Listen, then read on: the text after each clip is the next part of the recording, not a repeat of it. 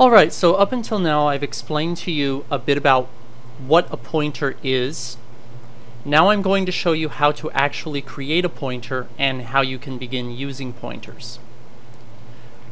In the previous lesson, you learned that it is possible to create variables that are designed to hold memory addresses, which are called pointers.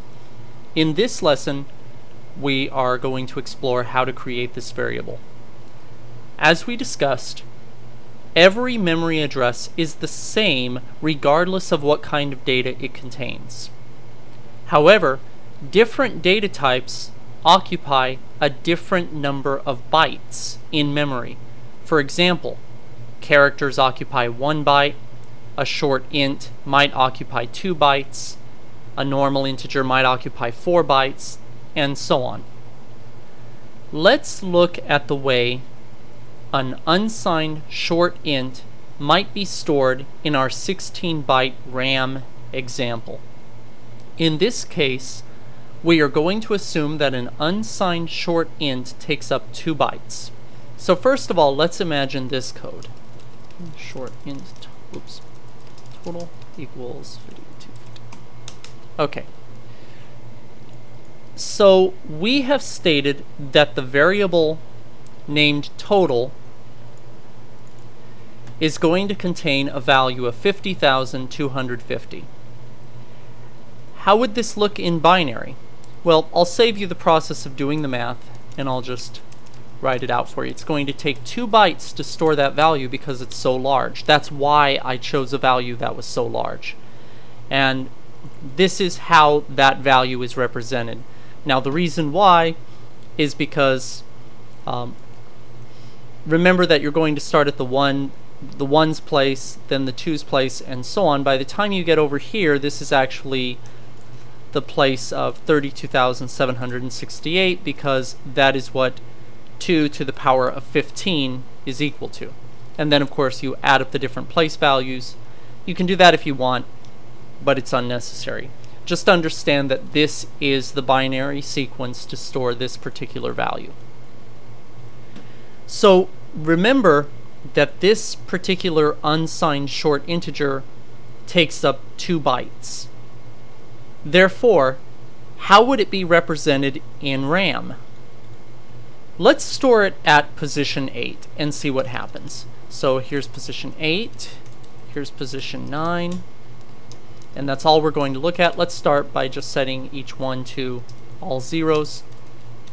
And now we're going to imagine that we're going to store this value at this memory address. So what we're going to have to do, because this takes up two bytes, and we can't put two bytes at one location, we're going to have to split it into parts. So first of all, we're going to put the first byte here, and then we're going to take the second byte and put it here.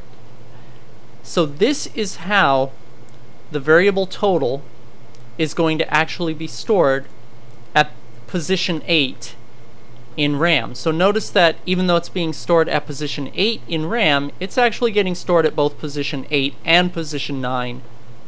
But we're just going to remember position 8 is where it starts. What I want you to notice is that obtaining the 8 bits at position 8 is not enough to obtain the full value in this example but it is enough to start with. If we know that the unsigned short int starts at position 8, then we know enough to get a value. We just have to remember to grab 16 bits, not just 8 bits. As you can see, you will get very different results if you expect there to be 8 bits as opposed to 16 bits. You'll get a totally different number. If you know that your value is stored here, and you don't know that it's 2 bytes in size, and you grab the value that's stored here, you're going to grab the wrong value. You need to know that the value is stored here and it occupies 2 bytes in order to be able to grab the entire value. In an earlier example, I asked you, what is the value stored at a particular memory address? So for example, what is stored at the memory address 8?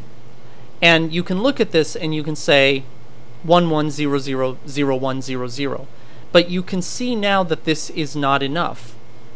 I need to really be more specific and say, what is the 16-bit value stored at memory address 8?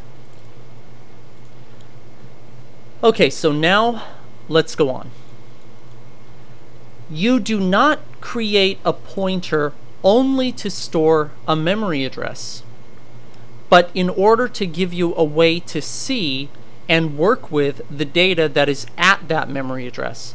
For example, it would be utterly useless if I were to create a pointer to location 1000, I'm sorry, position 8 in RAM and have no method by which I could say what is at that location. So in other words, if I have a variable that stores this value, but I don't have any way to actually obtain what is at that value, then there's no use, there's no purpose to that. When you create a pointer, you must specify how big the data is that you are planning to use the pointer for. In other words, you must specify the data type that you are planning to use the pointer for. If you are planning to use the pointer to look at ASCII characters in memory, then you need to specify, I plan to use this pointer for the data type char, for character. If you are planning to use the pointer to look at data of type unsigned short int, then you must specify, I plan to use this pointer to look at data that is going to be unsigned short int. Whenever you create a pointer, you must specify the data type for what it will be pointing to. Now there is one more detail we have not yet covered. How do you tell a programming language like C that you want to create a pointer? Every programming language is different, but in C, all you do in order to create a pointer is you put an asterisk like this in front of the variable name. That's it. So to recap that, to create a pointer in C, you simply put an asterisk in front of the name of the variable. I'll show you how this works. So if, for example, I want to create a pointer that is going to be used to look at memory addresses that contain an integer, I would do this.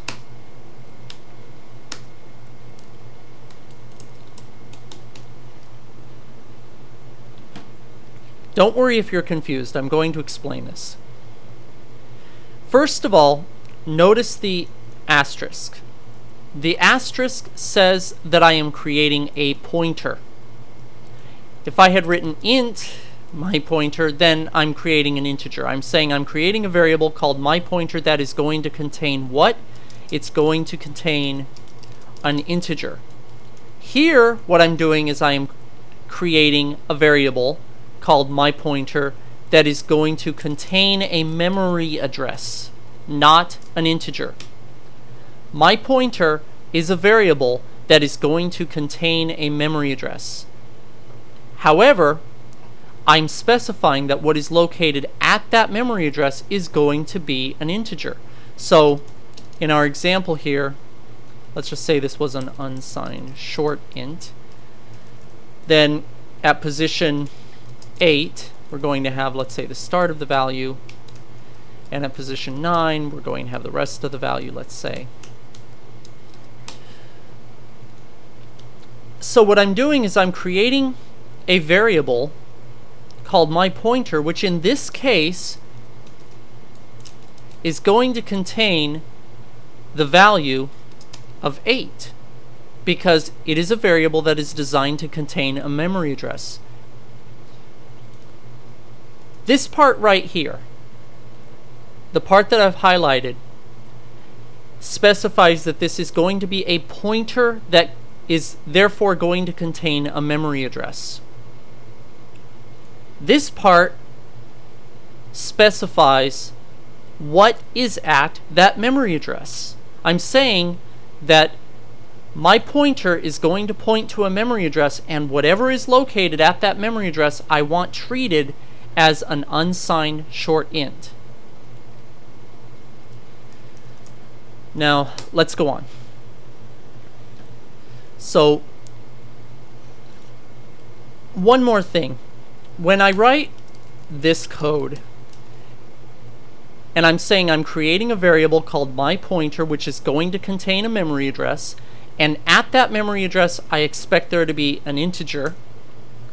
There are several ways that I can write this same line of code. I could write it like I just showed you, or I could write it like this,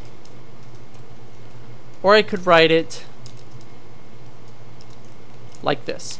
The position of the asterisk is not important, and you'll see it done in each of these ways.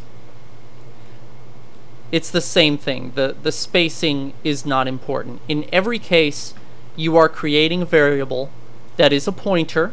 That's what the asterisk means and it's going to point to a memory address containing an integer. So with any of these, I've created a pointer. So let's look at this line of code. Here I've created a pointer called my pointer. What data type do I expect it to point to? If you said integer, you are correct. Now, why did I have to specify a data type? Why, why can't I just leave that blank and just say I'm creating a variable called my pointer that contains a memory address? The reason you have to specify a data type is because later on when I want to say what is at that location, I need to know how much data from that location I'm going to look at. One byte, two bytes, or more. And I need to know how I'm going to treat that data, if it's going to be a character or a number or so on. So you must always specify what you expect at that memory address. In this case, I expect an integer there.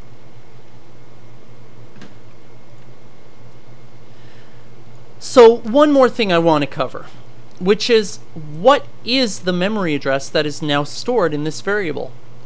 The answer is we haven't stored a memory address there yet. We've merely created the pointer that we can later on give a memory address to. So whenever you create a pointer like this, you have not told it where to point. You've just created a variable that is going to hold a memory address. So let's let's summarize the entire lesson by saying this. When you create a pointer, you give it a data type, then an asterisk, then a name. And that's all you need to do in order to create a pointer. So if I say char, my char pointer, and I put the asterisk, there you go. I've now created a pointer that is called my char pointer.